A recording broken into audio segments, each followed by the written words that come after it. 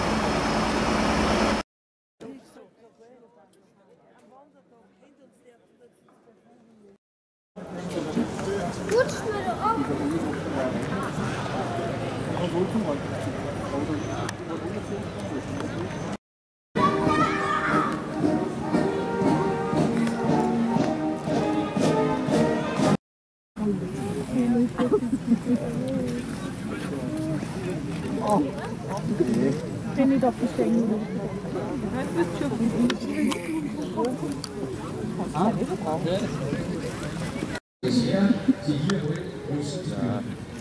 Name ist Hauptmann Philipp Robert und ich bin Kommandant der Kaderpräsenzeinheit des Jägerbataillons 12.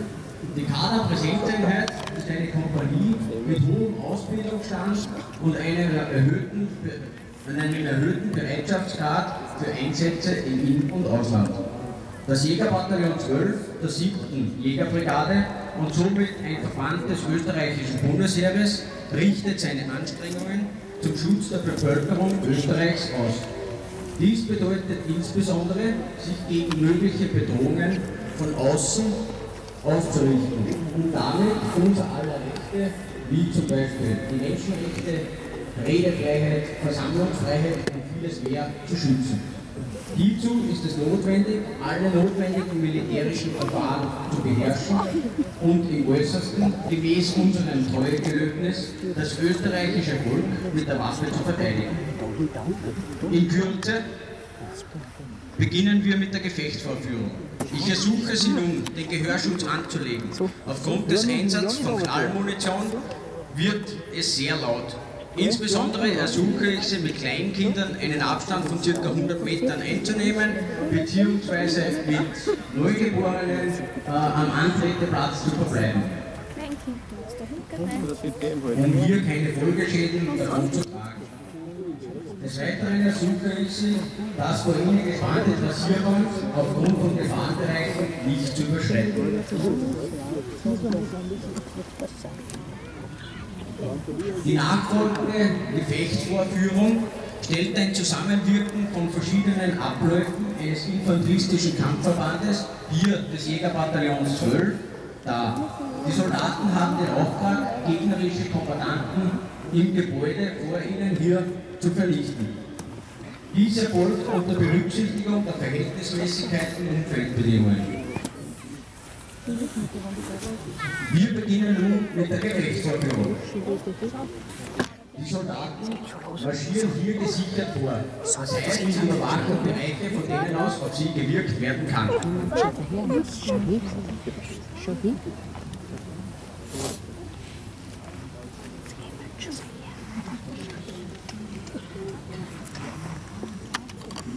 Oder kennen man's.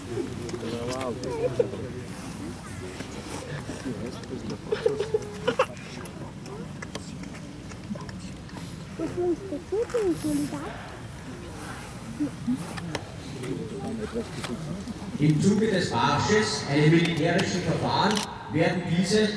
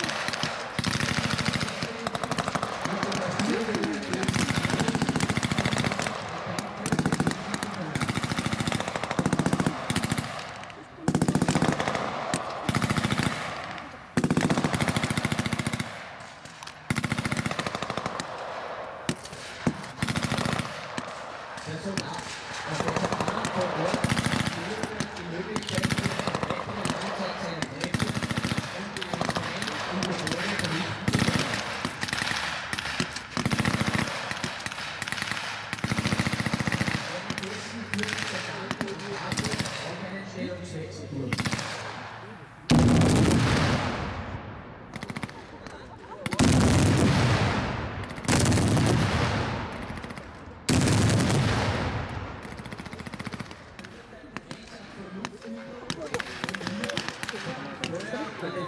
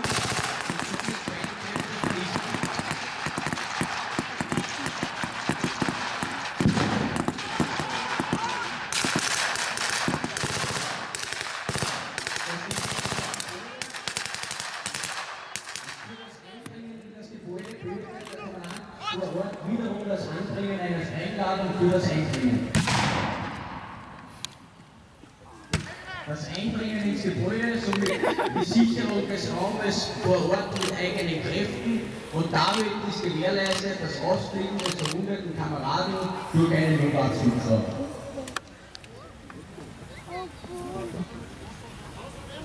Meine sehr geehrten Damen und Herren, dies sind verschiedene militärische Verfahren, die im äußersten Notfall angewendet werden müssen und die auch hier das Alleinstellungsmerkmal des Militärs darstellen.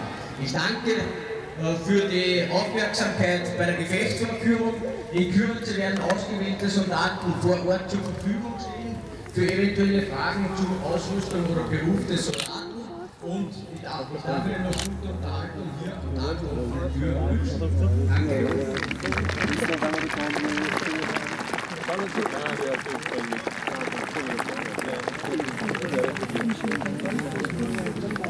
Ja, Aber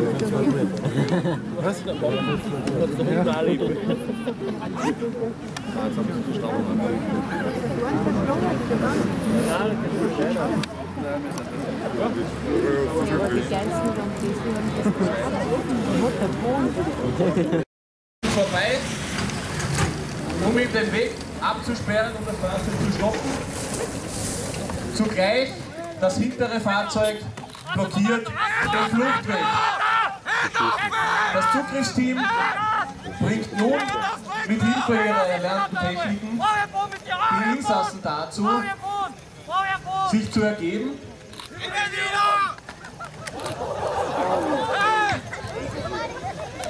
und sich schließen zu lassen.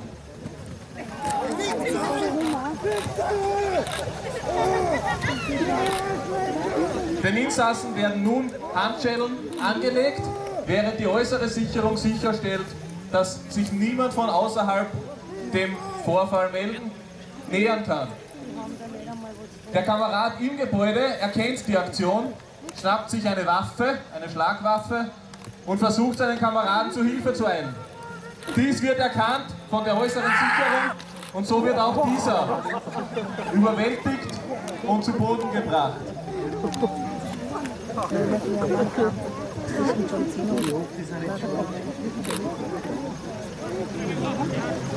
Die geschlossenen Personen werden nun am Fahrzeug abgelegt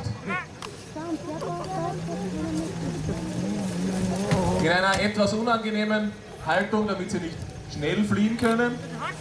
Und die Bewachung wird sichergestellt.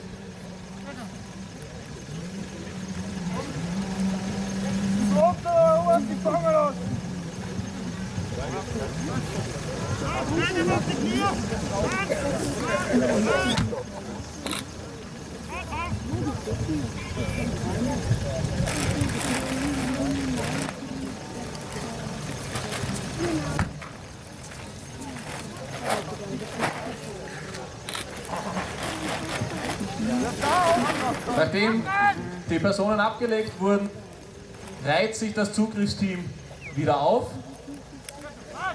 Die Sicherung bleibt aufrecht und es wird auf das Gebäude zugegangen. Das Gebäude wird genommen und so wird sichergestellt, dass sich keine weiteren Personen in diesem Gebäude mehr befinden und keine Gefahr mehr von diesem Gebäude ausgeht.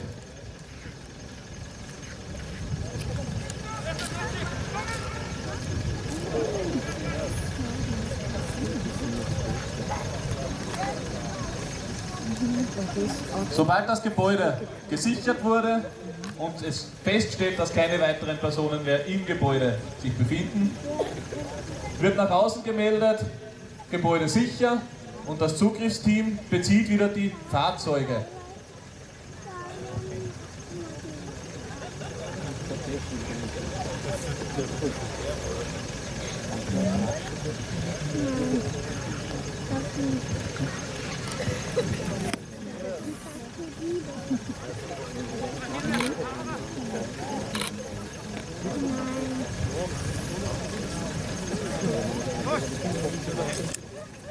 Die in Gewahrsam genommenen Personen werden nun in die Fahrzeuge gesetzt. Ein Sicherungssoldat wird sich ebenfalls auf der Rückbank befinden und alle drei Fahrzeuge werden den Bereich verlassen. Die in Gewahrsam genommenen Personen werden dann zur weiteren Befragung zurückverbracht und da das Gebäude nun sicher ist, werden in weiterer Folge die Spurensicherung, mögliche Sprengstoffe oder Waffen, die sich im Gebäude befinden, sicherstellen und verwahren.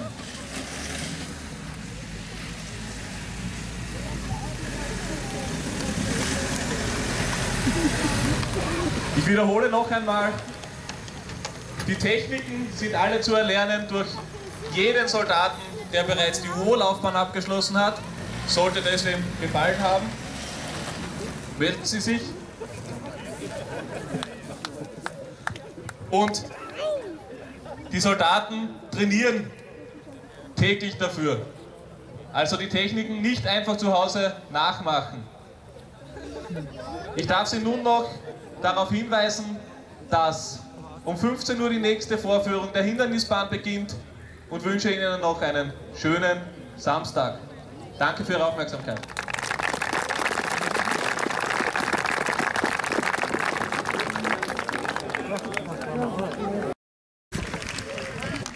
Das erste Hindernis ist die Seilleiter mit einer Höhe von 5 Metern. In der Standardtechnik wird heruntergeklettert bis zur dritten oder vierten Sprosse. In der Wettkampftechnik wird von oben heruntergesprungen. Das nächste Hindernis der Doppelbalken. Dabei wichtig, dass der Boden zwischen den Hindernissen berührt wird. Als nächstes die, das Drahthindernis, der Stolperdraht. Und als nächstes der 20 Meter lange Kriechgraben. Hierbei ist es wichtig, Energie zu sparen. Für die folgenden Hindernisse fehlt ansonsten die Kraft.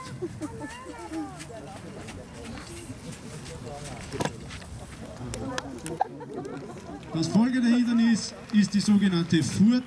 Dabei wird die Koordination des Athleten gefragt, von einem Stümpfel zum nächsten zu springen.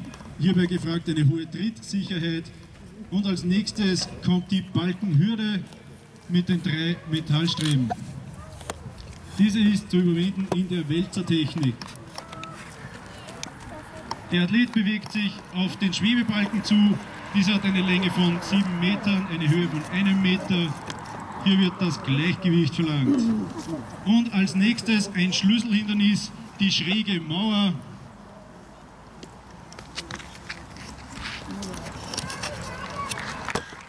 Sehr gut gemacht. Bei der Landung aus den 4 Metern wichtig die Vierpunktlandung. Und als nächstes kommen wir zur Balkenwelle. Danach die Übergabe an den zweiten Staffelpartner, Wachmeister Palmetzover.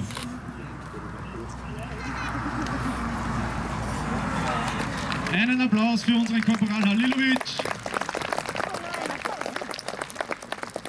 Das erste Hindernis, der irische Tisch, ein Schlüsselhindernis. Als nächstes Kanal und Doppelbalken in der Flankentechnik zu überwinden. Als nächstes haben wir die Balkenstiege mit einer Höhe von 3 Metern. Zu überwinden mit der Flankentechnik eine sichere Landung. Wall und Graben als nächstes. Dazwischen die niedere Mauer auch wieder mit der Flankentechnik zu überwinden. Und als nächstes die Grube.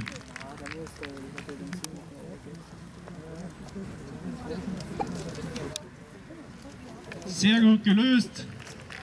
Als nächstes die 4 Meter hohe Leiter in der Wettkampftechnik wieder von oben herunter zu springen.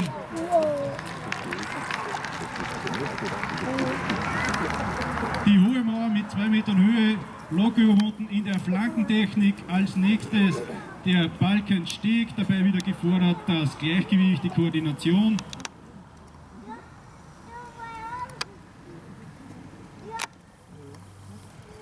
Und als vorletztes Hindernis der Irrgarten. Hat sich Gott sei Dank noch niemand verlaufen drinnen. Und zum Schluss die Mauergruppe, dreimal hintereinander die Flankentechnik. Und wenn wir das geschafft haben, sind wir im Ziel. Meine Damen und Herren, ich bitte um einen Applaus für unsere beiden Athleten. Sehr gut gemacht, tolle Leistung. Und ich darf Sie noch darauf hinweisen, um 13.30 Uhr die Gefechtsvorführung. Bitte mit Gehörschutz das Ganze mitverfolgen, es wird sehr laut werden. Danke für Ihre Aufmerksamkeit.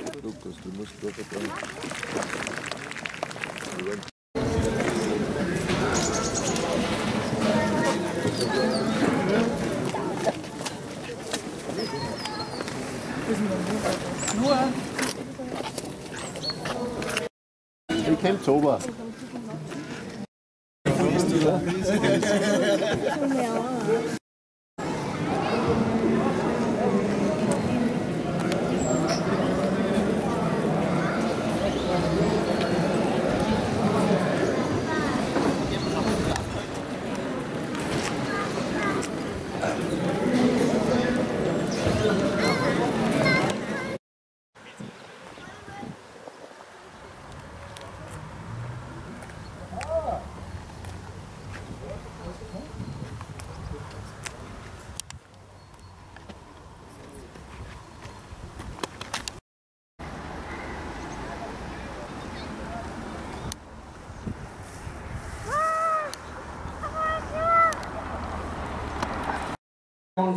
freut sich sehr, Sie heute hier begrüßen zu dürfen.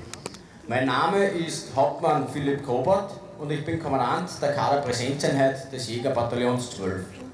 Die Kaderpräsenzeinheit ist eine Kompanie mit hohem Ausbildungsstand und einem erhöhten Bereitschaftsgrad für Einsätze im In- und Ausland. Das Jägerbataillon 12 der, der 7. Jägerbrigade und somit ein Verband des österreichischen Bundesheeres richtet seine Anstrengungen zum Schutz der Bevölkerung Österreichs aus. Dies bedeutet insbesondere, sich gegen mögliche Bedrohungen von außen auszurichten und damit unser aller Rechte, wie zum Beispiel die Menschenrechte, die Redefreiheit, die Versammlungsfreiheit und vieles mehr zu schützen. Hierzu ist es notwendig, alle notwendigen militärischen Verfahren zu beherrschen und als äußerstes gemäß unserem Treuegelöbnis das österreichische Volk mit der Waffe zu verteidigen. In Kürze beginnen wir mit der Gefechtsvorführung. Ich ersuche Sie nun, den Gehörschutz anzulegen. Aufgrund des Einsatzes von Knallmunition wird es sehr laut.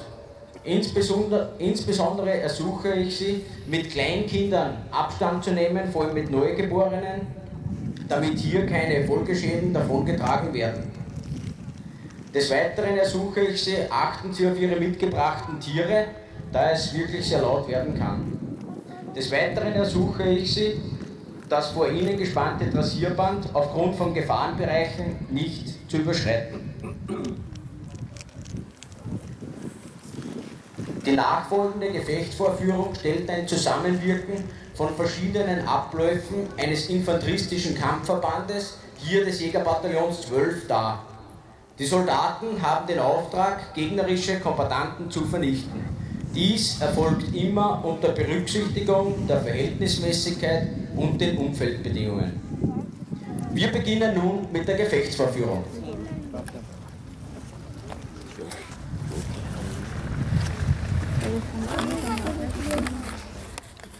Hier das erste militärische Verfahren, der Marsch.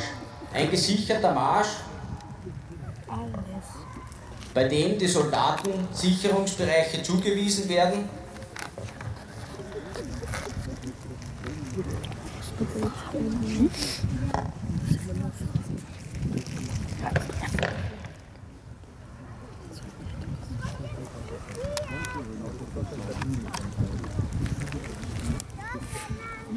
Die Soldaten sichern somit ihre Bewegung selbst in diesen Räumen, von denen aus auf sie gewirkt werden kann.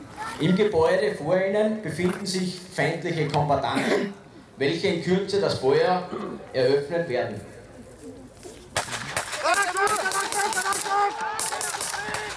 Da hier keine geeignete Deckung vor Ort ist, schießen sich die Soldaten in eine Deckung zurück. Dies erfolgt unter Einsatz von Nebel, um die feindliche Waffenwirkung herabsetzen zu können.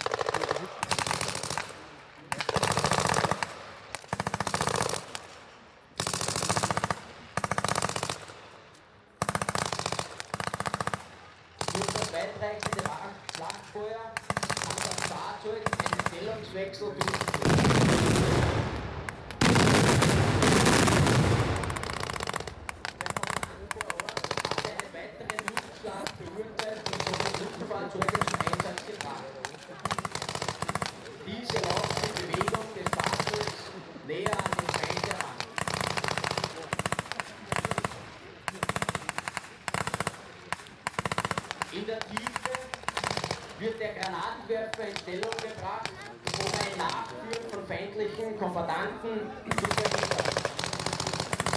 Dieser stellt die Feuerbereiche auf Dach und eröffnet in Kürze das Feuer.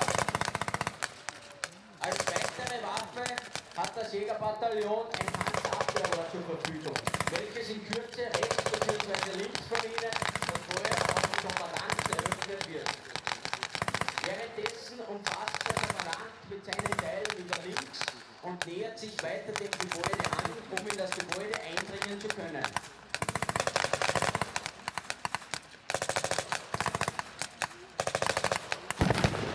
Der Abschluss des Abwehrrohrs auf die feindlichen Stellungen. Der Granatwerfer eröffnet das Feuer. In Kürze werden Sie im Bereich des Gebäudes die Einschläge des Granatwerfers sehen.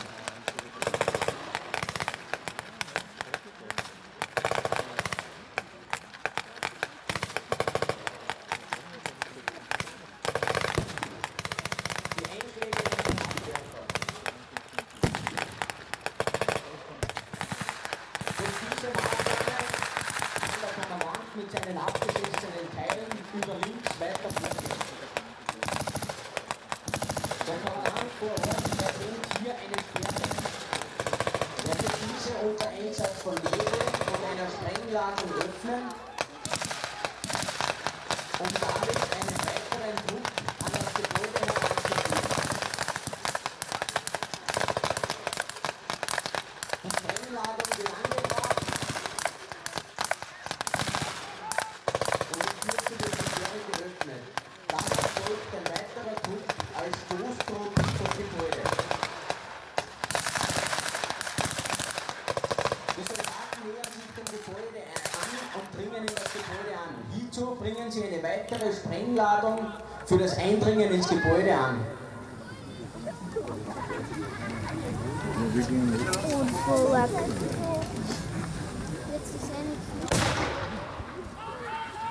Nun dringt dieser Trupp ins Gebäude an und neutralisiert die feindlichen Kombattanten. Durch diese Maßnahme konnte der Raum in Besitz genommen werden, es kann mit keinem Feuer mehr auf eigene Teile gewirkt werden und der verwundete Kamerad wird mittels weiterer äh, Versorgungsmittel abtransportiert.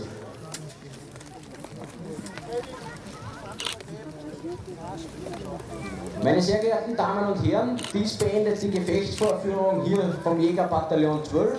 Ich danke Ihnen für Ihre Aufmerksamkeit. In Kürze werden Soldat, äh, ausgewählte Soldaten für Sie bereitstehen, um eventuelle Fragen zu Beruf des Soldaten bzw. zur Ausrüstung beantworten zu können. Nutzen Sie die Möglichkeit für eventuelle Fotos, sonstiges. Ich danke Ihnen für Ihr Interesse am Militär, wünsche noch einen schönen Tag hier am Tag der offenen Türen der Osterreicher-Kaserne.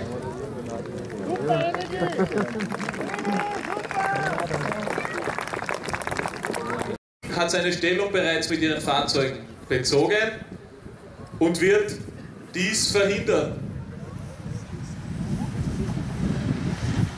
Dazu wird das erste Fahrzeug des Zugriffsteams überholen, um dem gesuchten Fahrzeug den Weg abzuschneiden und es zum Stoppen zu bringen.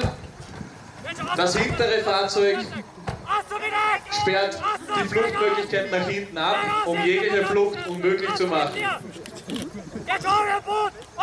Nun bringt das Zugriffsteam die Insassen dazu, aus dem Fahrzeug zu kommen. Die Insassen werden mit den Techniken, die bei dem Kurs gelernt wurden, geschlossen und fixiert.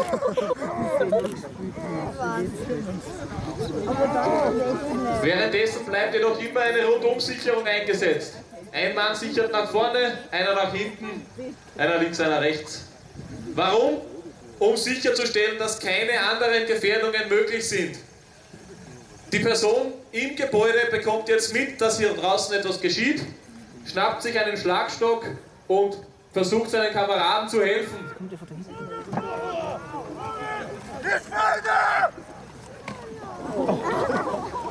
Auch dieser wird überwältigt, zu Boden gebracht und geschlossen. Währenddessen werden alle Personen, die bereits geschlossen wurden, am Fahrzeug abgelegt in einer etwas unangenehmen Haltung, um eine Flucht zu erschweren. Alter, was ist mit dir passiert?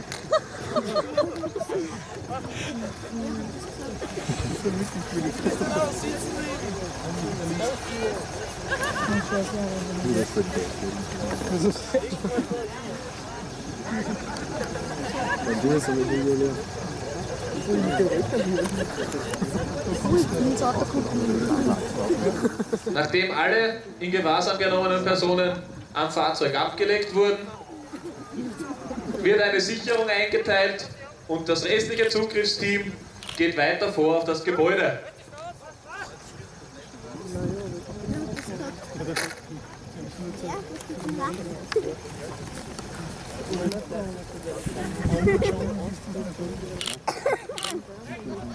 Das Gebäude wird nun vom Zugriffsteam gesichert, um sicherzustellen, dass keine weiteren Personen im Gebäude sind und somit keine weitere Gefahr von diesem Gebäude ausgeht.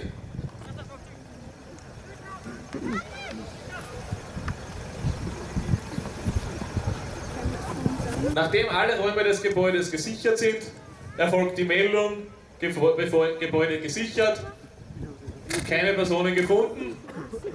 Das Zugriffsteam kehrt zurück zu den Fahrzeugen und wird in weiterer Folge die gesuchten Personen in die Fahrzeuge setzen, um sie dann zurückzubringen und zur weiteren Befragung festzuhalten. Nachdem die Personen zurückgebracht wurden und die Befragung durchgeführt wird, wird auch das Gebäude von der Spurensicherung noch einmal überprüft auf etwaige Sprengmittel oder Waffen, die dann sichergestellt werden können.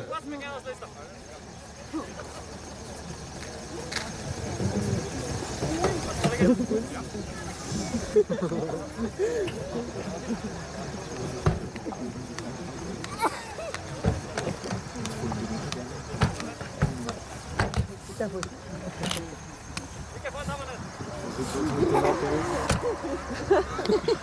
Personen sind in die Fahrzeuge verfrachtet worden. Jetzt würden sie Gas geben. Stattdessen einmal alle meine Nahkämpfer zu mir. Wie bereits erwähnt, jeder Soldat, der die Ausbildung zum Unteroffizier abgeschlossen hat, kann im Zuge eines Kurses diese Dinge erlernen. Helm ab, Maske ab.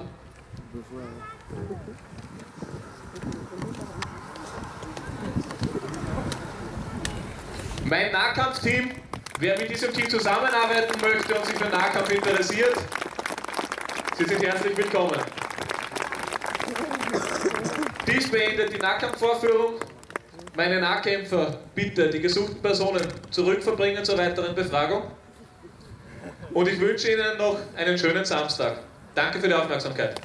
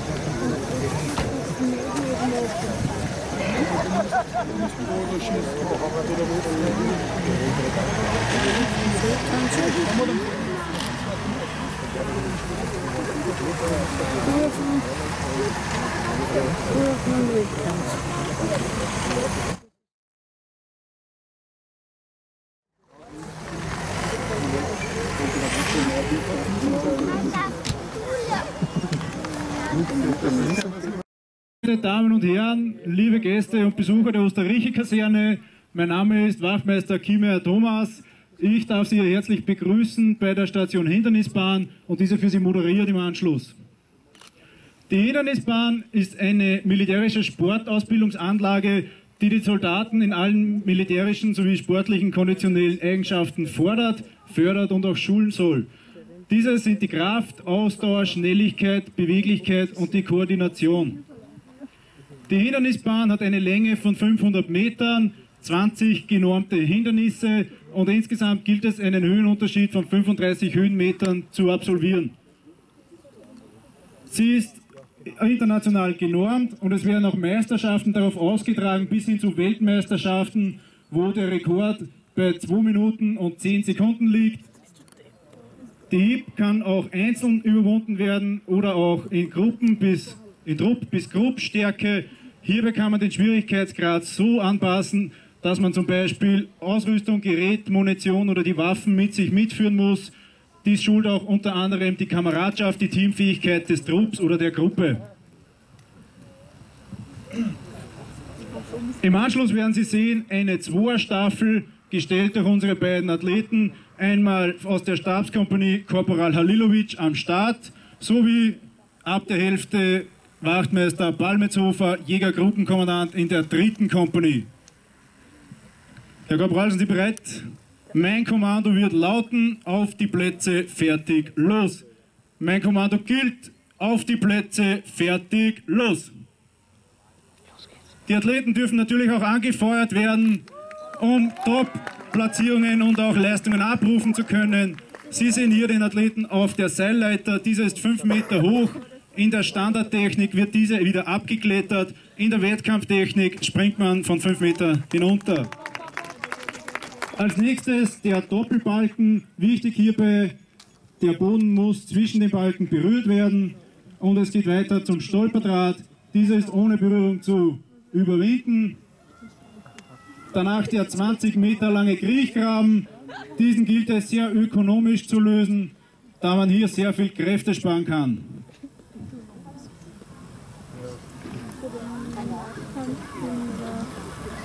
Toll gemeistert, Herr Korporal. Weiter geht's zur Furt. An der Furt werden die konditionellen Eigenschaften der Koordination gefordert. Der Gleichgewichtssinn und eine große Fuß-Augen-Koordination ist hierbei wichtig. Als nächstes die Balkenhürde in der Wälzertechnik zu überwinden. Toll gemacht.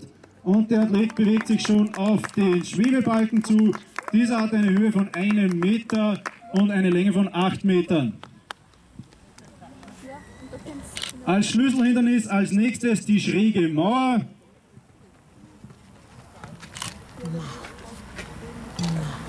Diese überwindet der Athlet tadellos.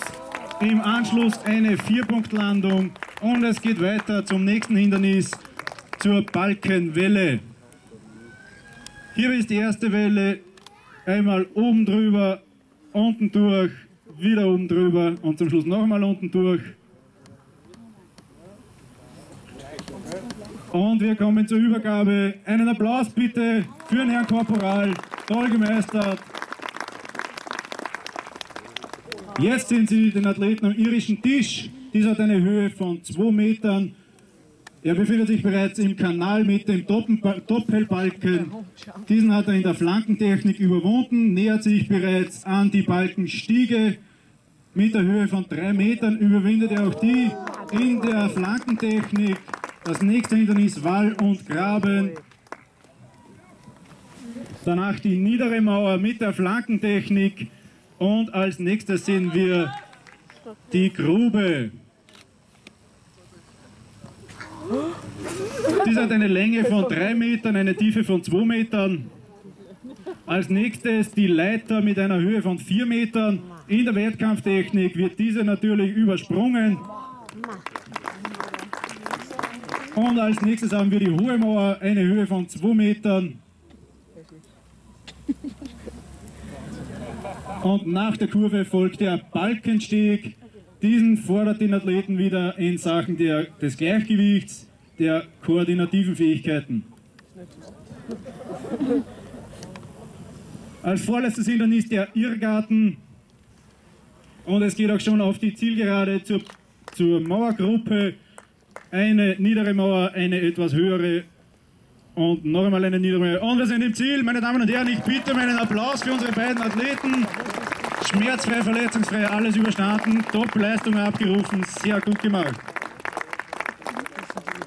Im Anschluss darf ich Sie darum bitten, die Gefechtsverführung hinter Ihnen zu besuchen. Start ist dies für diese um 13.30 Uhr.